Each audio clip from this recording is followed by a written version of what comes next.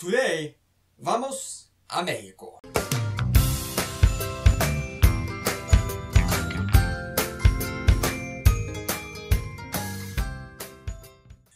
Good morning to wherever you are. This is your Java Man, and today we are going to go around the world and we are landing in the wonderful toasty country of Mexico.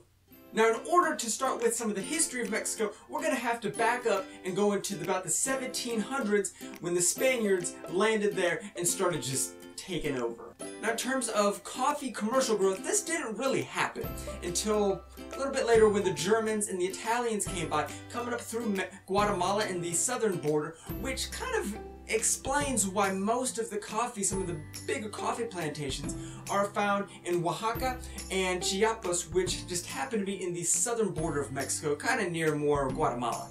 Now the coffee bug didn't really settle in in Mexico until about the 1800s after they got their independence from Spain.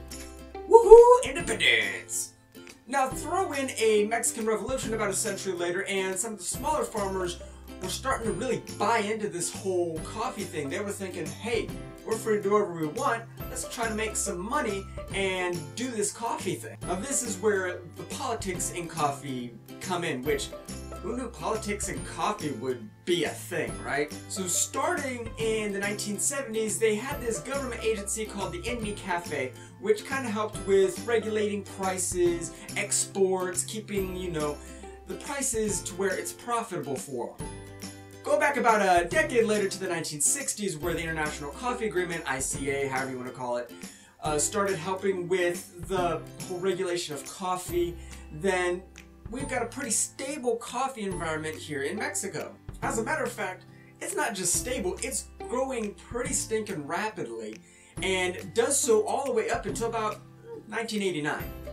What happened in 1989, the International Coffee Agreement with just terrible managing just got taken out. And with that, they realized, oh crud, we have all this coffee and we don't have any way to really regulate the price, so the price kind of just plummets down to the bottomless pit, and coffee drops significantly in price in Mexico.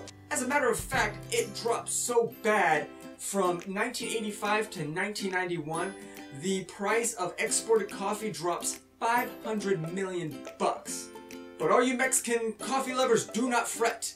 The INMECAFE agency got some co-ops together and they realized, okay, look, we need to stabilize this sucker out, otherwise we are in some serious, serious trouble. So as of recently, they've got these co-ops to where they can kind of help regulate the prices and the exports, so things seem to be, as of late, stabling out in the Mexican coffee economy, so good job, guys. Let's say you're gonna go to Mexico and you're like, hey, I want some cafe. Well, first thing you're gonna notice, they're not really huge on coffee. They do have some coffee drinks, but the most common one and most popular I've noticed, at least here in the States anyways, is Nescafe, which is like a instant coffee. If that's your thing, hey, have at it. It's not really a Java Man's thing. He's kind of wanting to go to a coffee shop and get some tasty. So here's two types of drinks you could get if you are going to a Mexican cafe and ordering some coffee. The first drink we have is your cafe con leche. Now this is your coffee with like steamed milk. So some of the older, old school kind of coffee places will do just coffee with steamed milk. Some of these newer cafes are gonna be doing espresso with steamed milk, so they're kind of going more of the latte kind of feel with it. Now the second type of drink we have is a cafe de olla. Now this is pretty interesting. This is what speaks to me as all Mexican coffee. What they have is this big old clay urn or pitcher or something to drink some dark roast coffee in. They get this, they pour it through some cheesecloth, some sort of filter paper, and sweeten it with something called piloncillo. Now what piloncillo is, is this unrefined cane sugar, a very common sweetener down there in Mexico. If you want to think about it as like a unrefined brown sugar, that's kind of what we're working with.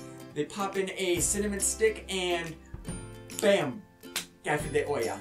Well, I think that's gonna have to wrap up this coffee around the world. If you enjoyed it, just throw a like. If you want a country you want me to go to, throw one down in the comments below. If you want me to grind up some bratwursts and put it in as a puree into some coffee and say, hey, try that as a coffee creamer, throw it on down below. And hey, Let's go brew up some love for somebody.